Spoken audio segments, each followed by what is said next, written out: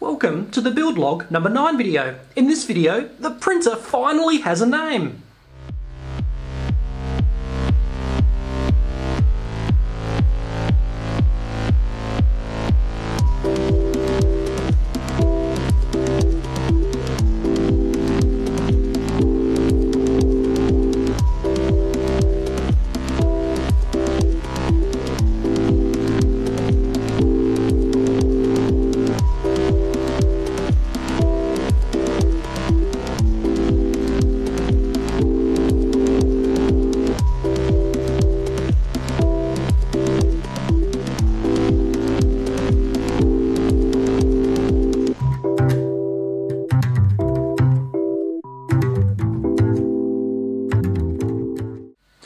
Wanted to show you the capabilities with this printer with a strong structural frame, what you can expect at higher speeds.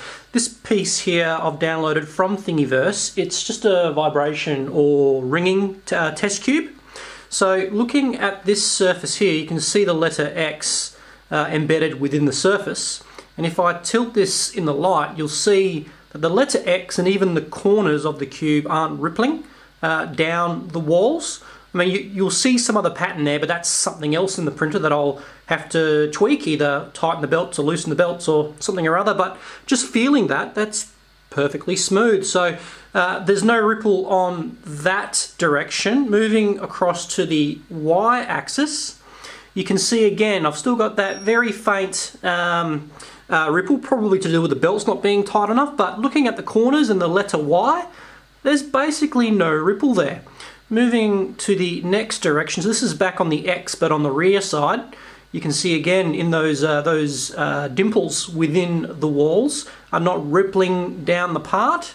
And finally the fourth side, so this is the y-axis again, there is no rippling from those uh, those dimples in the wall. So this was printed very fast, 80 millimeters a second, and that's a testament to what a structural uh, frame like this can do uh, when printing quite fast.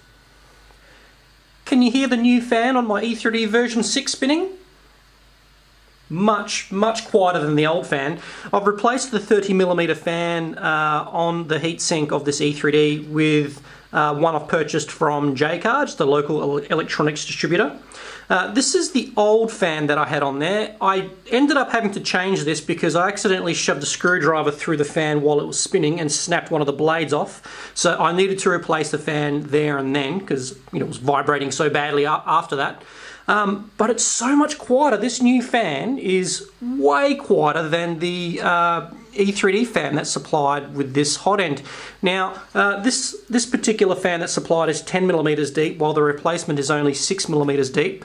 So it potentially means there's, there's maybe not as much airflow being pushed over the heatsink of the hot end, but so far I'm not encountering any issues, and I, I can still feel the breeze um, blowing past the fins and just uh, touching the fins during a print. They're, they're, not getting hot on the hot end, so I'm assuming that this is adequate uh, to cool down the hot end. So that is something that I've been wanting to do anyway for such a long time and because I've you know broken the old fan it basically made, uh, enforced me to do it and I'm so glad I've made that change.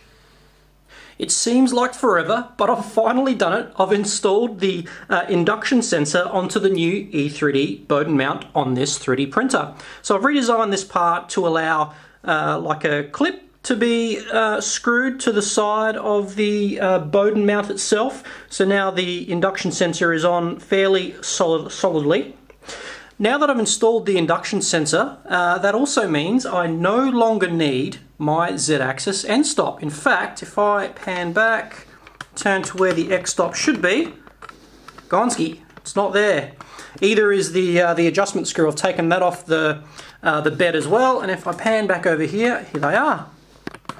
So you'll see I don't need the Z-axis end stop or the Z-axis uh, adjustment uh, anymore because I'm now just using the induction sensor uh, in lieu of the Z-axis micro switch end stop. And it's working very well for me I must admit. Uh, now that I've switched over to this method of homing uh, the hot end to the bed I am hooked. It is so much easier now not having to adjust uh, the end stop with the screw, uh, being able to just send G29 as the uh, G code before the print starts, so it does its uh, its homing routine on the bed before before doing the print. The, the, the prints stick down so much better now. In fact, uh, I'm so comfortable with the way that this now works. I've increased the first layer uh, print speed uh, from 20, millim 20 millimeters a second to 30 millimeters a second because it just works so well. I originally had the sensor mounted on the left hand side of the E3D Bowden mount and I quickly realised that the left hand side unfortunately wouldn't be ideal. Uh, to start off with the uh, induction sensor was hitting the left XY motor when the x-axis had homed so there just wasn't enough of a gap in there to allow the induction sensor to fit between the Bowden mount and the and, the motor, uh, and also because the sensor, the induction sensor, wasn't actually touching the bed, so you'd need to go into Marlin and set a safe homing position, which was you know a bit cumbersome. So I ended up switching the induction sensor to the right hand side. And just looking at the ramps board for the induction sensor, you can see the two resistors I've uh, installed here. That's the voltage divider. That's to reduce the voltage of the signal uh, from 12 volts, which is powering the induction sensor, uh, down to about 5 volts. Uh, and there's just that one wire going across to the end stop location. So that this one signal wire is going to the Z minimum uh, end stop, and that's triggering the homing for the Z axis. Still waiting for Banggood to deliver me the longer lead screw and also the bag of T-slot nuts so I can uh, finish this build, but uh, that's not stop stopping me from printing. It seems to print just fine in its current state uh, as it is. It just means I'm losing 50 millimeters of height here. So in the interim, I've uh, cleaned up some of the wiring. I've uh, I've surrounded all the cables with this spiral cable management and cable tied that to the frame so you can see uh, from the heat bed I've got the uh, temperature sensor and the power wires the end stop uh, uh of the y-axis and this motor over here is all spiraled through this cable management uh, cable tied to the frame and then uh, obviously the ramps board still not mounted onto the frame of course because I'm still waiting for for some more T-slot um, uh, nuts to be able to make a mount, so that'll have to come at, at a later stage.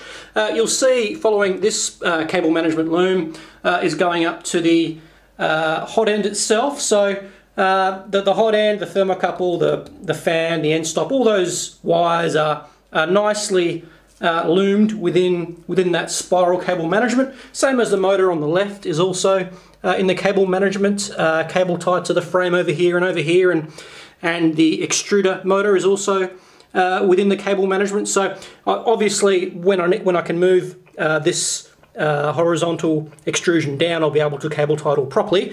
But uh, it's made a, a, marked improvement in just the aesthetics of the printer. Uh, I'm not going to get tangled up in wires, at least uh, around the front anymore, because it's it's so much cleaner. There's just less clutter. And uh, yeah, it's looking much neater. Uh, yeah, so I still need to obviously ca cable tie the rest of these cables up. I'll do that when I finally can mount the ramps board to the frame, which should hopefully be next week when everything arrives. And I've finally finished printing all the replacement parts in the blue PETG. Uh, so much better having uh, all the parts one colour. In this case, they're all this, this, this kind of navy or dark blue. To be honest, I got a bit sick of the purple. Uh, and also looking at, for example, the uh, left uh, XY motor, get that to focus, you'll see there's no sagging there. It's perfectly straight. Uh, this particular motor, if I push this back, it's, it's resting on the part uh, in there. So I don't need a block down here to stop the motor from, from wiggling as such because it's, it's already resting on the part which is thick enough to touch the, uh, the inside of the motor there. So uh, that's the one on the left. The one on the right, if I zoom into that, you'll see is perfectly flat as well. So the PETG is working just fine uh, for this printer. So now that I've printed all the pieces uh, in PETG, I'm quite happy now to release the files. The printer uh, seems to be working very well. Um, it doesn't seem to be uh, inhibited by the lack of uh, T-slot nuts and, and fixings on, on the Z-axis, for example. So I'll be releasing the STL files on Thingiverse uh, very shortly after this video goes live. Enjoy. Uh, if you do make one of these printers, I wouldn't mind you uh, posting an I made one on Thingiverse because I want to see what, what you guys do with this. I know there's been a lot of comments about you want to print this uh, particular, sorry, print, you want to make this particular frame much bigger than what it is now. So uh, some people have been suggesting, you know, one meter tall and, you know, 50 centimeters by 50 centimeters, which is a very large uh, uh, frame compared to the one I've got here. So I wouldn't mind seeing some photos if you do end up making one of that size.